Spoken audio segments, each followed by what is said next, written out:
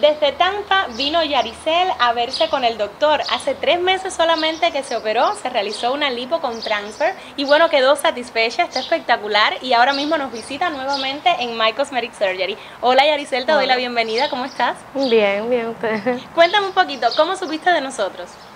Bueno, supe por mi prima que se operó recientemente hace siete meses aquí y todo le salió bien, o sea, me gustó y por eso fue que vine. Y una vez que llegaste a la clínica, ¿te gustó el trato de todas las personas, del doctor? Sí, todo maravilloso. Una limpieza, una higiene, doctor, la enfermera, la, todo el mundo muy bien. ¿Por qué querías realizarte tú una lipo con transfer? ¿Por qué este procedimiento? Bueno, porque ya llevaba, necesitaba la lipo porque tenía demasiada grasita.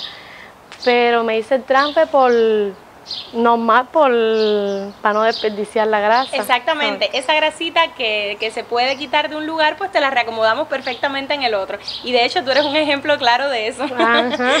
Cuéntame, ¿entonces superó tus expectativas el procedimiento? Sí, todo bien. ¿Y qué te dice la gente? Una vez que llegaste a Tampa, ¿qué te decían tus amigos, tus familiares, tu papá que anda por ahí?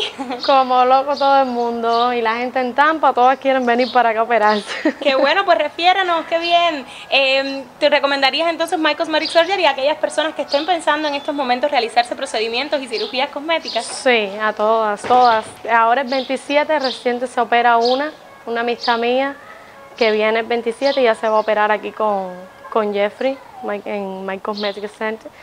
Y todo bien.